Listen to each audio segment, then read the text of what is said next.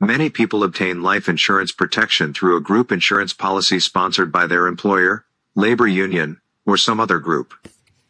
Characteristics of group life insurance. Group life insurance covers a group of people under a single contract. It is most commonly provided through a group annually renewable level term insurance policy, though some insurers also offer group whole life, group universal life, and even group variable universal life products. The National Association of Insurance Commissioners, NAIC, Model Group Life Insurance Act set the standard for group term life insurance policies. Adopted in most states, requirements include a group must cover at least 10 people under one master policy, though exceptions exist on a state-by-state basis. Individual medical examinations are generally not required. The insurance must be purchased for the benefit of the participants.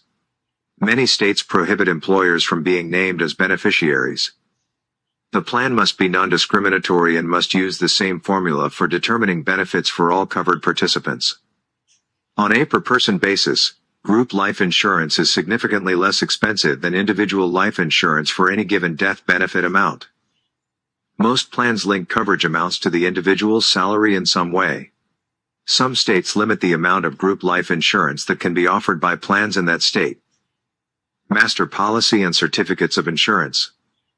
With a group life policy, the sponsor of the group plan, for example, an employer or labor union, is the policy owner and premium payer. The individual members of the group are the insureds.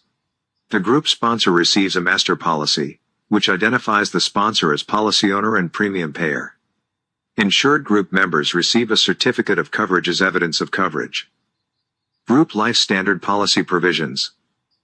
Like individual life insurance policies, group life policies are characterized in part by standard provisions, including a grace period, typically 31 days, for paying the premium after the due date. An incontestability after two years except for non-payment of premiums and fraudulent misstatements on the application. An entire contract provision stating that only the application and policy document constitute the policy. A provision setting forth conditions, if any, under which the insurer can require an individual participant to provide evidence of insurability. A beneficiary provision giving participants the right to designate and change their beneficiary. A conversion provision giving terminated participants the right to convert their group life coverage to an individual policy of equal face amount without having to provide evidence of insurability. Contributory versus non-contributory group plans. Group insurance plans may be funded entirely by the plan sponsor or premiums may be split between the sponsor and the plan participants. If the premium is paid entirely by the plan sponsor, the plan is a non-contributory plan. If a portion of the premium is paid by the group member, the plan is a contributory plan. Minimum participation requirement. To prevent adverse selection and assure a good mix of risks, Insurers require that most group members must be covered under the plan. This is most readily achieved through a minimum participation requirement that varies only by whether the plan is contributory or non-contributory. If the plan is non-contributory, 100% of eligible group members must be covered. If the plan is contributory, at least 75% of eligible group members must elect to participate. Conversion privilege. Group term life insurance coverage normally ends for a participant when that person leaves the group. This can pose a problem for a terminating employee who is uninsurable.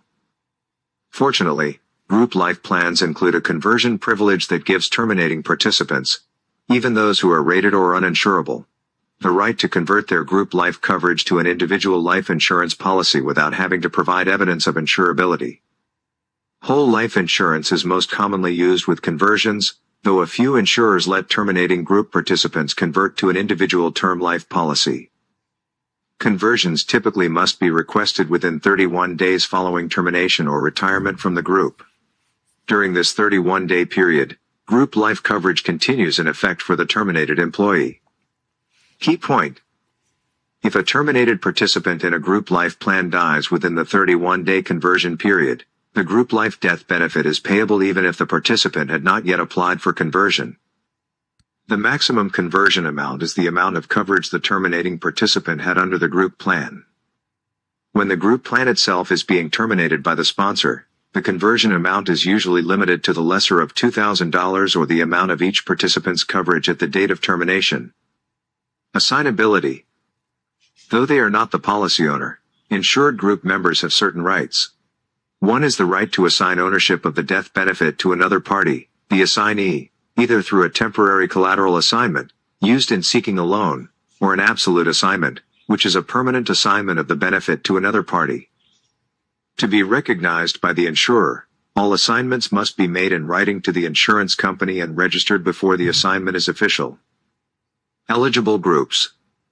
To qualify for group insurance, a group must be a natural group formed for some reason other than purchasing group insurance.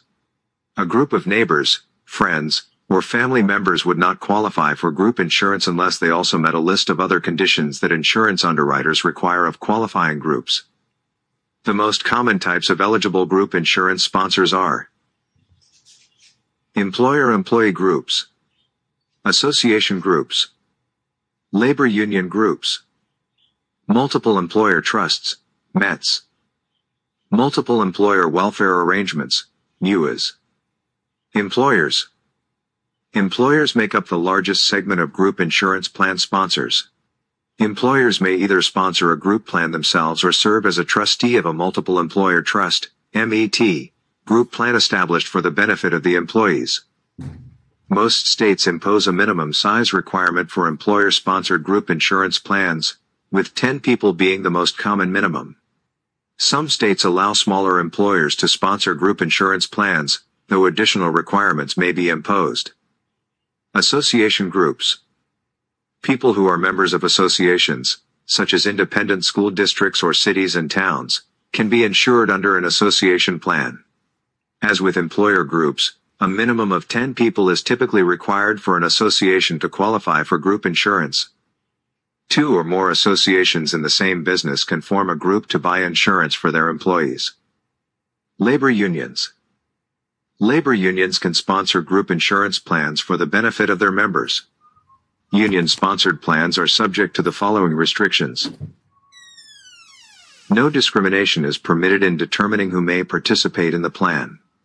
Either all members of the union, or all members of individual classes of the union, must be eligible.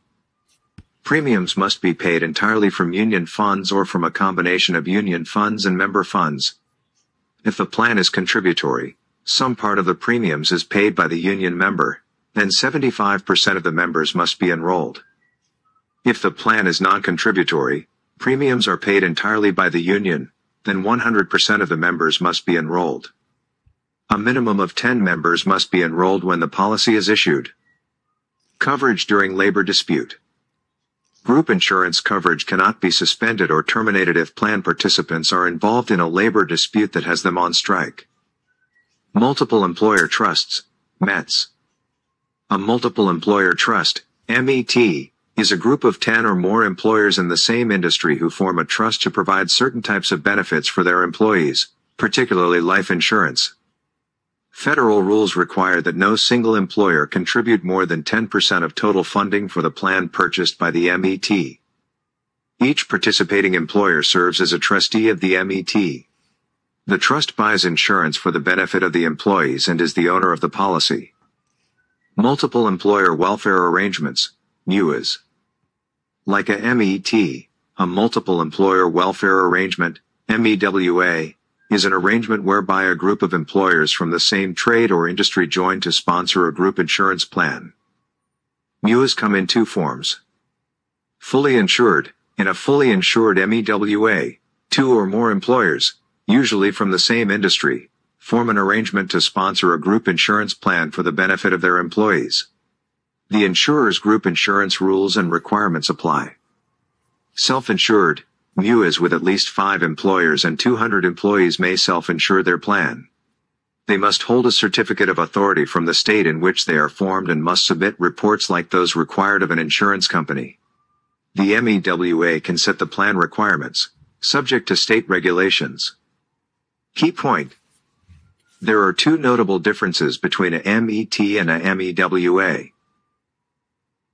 A MEWA may be established by as few as two, or more, employers, whereas a MET requires a minimum of 10 employers.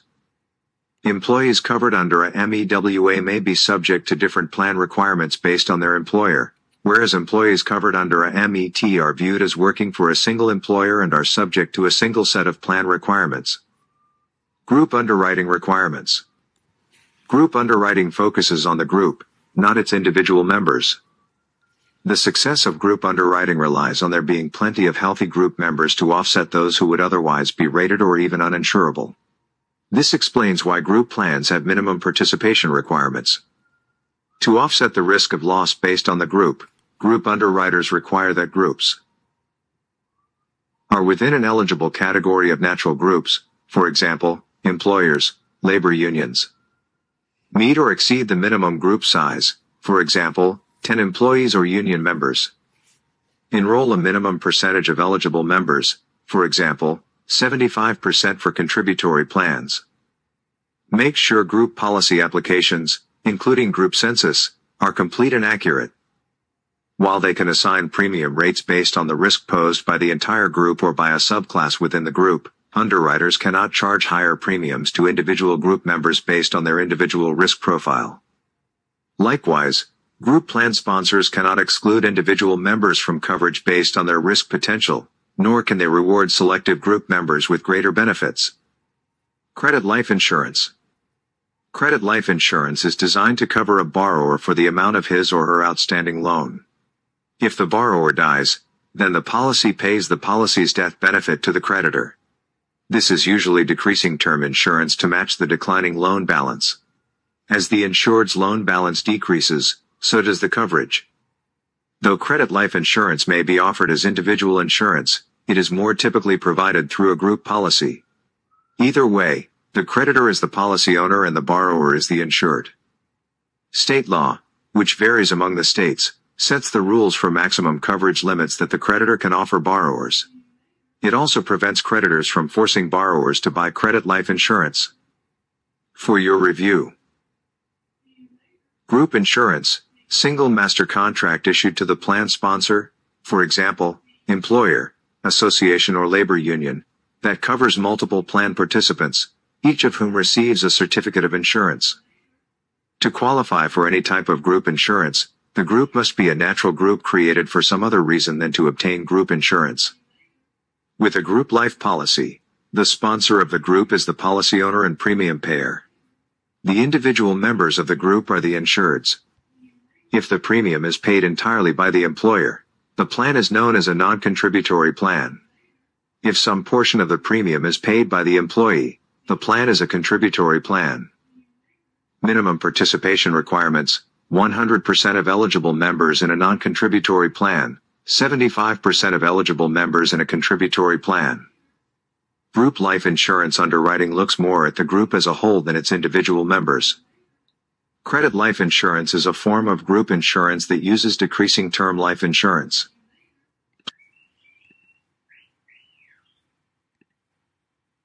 Group life insurance is the primary source of insurance for many Americans. Uh, for some people, that's because they can't afford it, simply don't believe in the need for individual life insurance. For others, it's because they couldn't qualify for individual life insurance because of perhaps pre-existing medical conditions. In fact, one of the greatest benefits of group life insurance is that even people who would not normally qualify for an individual life insurance policy do qualify for group life insurance coverage by being part of the group that is offering the protection. Uh, when we talk about group life insurance underwriting, uh, we, we see that Group underwriting does not look at the individual risk, but rather it looks at the collective body of, of, the organization in determining, for example, the group premium rates that would be applied. Now, it sounds like group life insurance is the answer for those who are uninsurable. And while this is true to a certain degree, it's important to understand that insurance companies are not entirely defenseless when it comes to guarding against adverse selection, which is, again, the tendency of those who are uninsurable or certainly who need insurance to be uh, more inclined to try to seek insurance. Uh, some of the things that insurance companies have going for them uh, include the fact that to qualify for group insurance of any sort, the group must be a natural group. You couldn't have a pickup group, if you will, of people who need life insurance uh, to, to get together and say, hey, let's call ourselves a group and qualify for group life insurance. It has to be a natural group. And number two, there are minimum size requirements that must be uh, in place. And this reduces the, the risk of a small group of uninsurable people happening to be together. So by requiring a minimum size, you have some assurance that there will be some healthy risks mixed into the group. Uh, there is also a minimum participation requirement. For example, if the group plan is non contributory, meaning the employer pays the entire premium, then 100% of the eligible participants must participate in the plan. If the plan is contributory, it cannot be required that they participate in the plan, yet 75% must elect to do so. And these participation requirements really do exist to protect the insurer from having a group plan where maybe the employer says, hey, I'm going to pay for it all, but I don't want you people participating. You can't do that. If he pays for it all, everybody's got to participate. Likewise, as I said, if it's a contributory plan where the employees have to contribute part of the premium, it can't be so onerous that the participants, that the employees say, well, I can't afford it, I'm not going to participate. It has to be appealing enough that at least 75% of the people elect to participate. And then the last factor that works on behalf of the insurance company is the very simple fact that employees cannot select within a, beyond a certain limit the benefit. The benefit has to be defined in the plan of what the benefits are going to be. Because again, if employees could pick the benefit amount, you'd have uninsurable people seeking unlimited amounts of life insurance. So with those factors in place, insurance companies are protected against extreme adverse selection by those who would otherwise be uninsurable.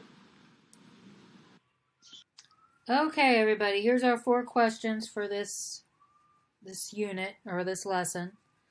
This is kind of a long one. Which statement about credit life insurance is, is the most correct? Uh, increasing term is most often used. If the borrower dies, insurers will pay the death benefit to the borrower's beneficiary. Creditors can require borrowers to buy credit life insurance as a condition for obtaining a loan. Now, I definitely don't think that's right. State laws typically set a maximum coverage limit that creditors can offer to borrowers. Um, I would say increasing term. If the employer pays an entire premium from group life, what is the plan called? Non-contributory, because you're not they're not contributing anything. Which of the following statements regarding association group life is correct? There must be a minimum of 10 associations. Association as a member must share the premiums. The insured members are the policyholder. Um, I don't know. That's a good one. So, I don't know if I got that right or not. We'll see.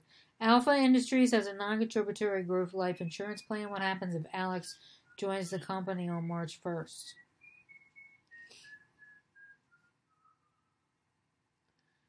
Uh, Alpha Industries has a contributory group life insurance plan. What happens if Alex joins the company on March 1st? Uh, only the employee he can join as long as he contributes his share. I'm guessing. I'm guessing on all of these because I don't know. Okay, I got two wrong. Question one I got wrong. Okay.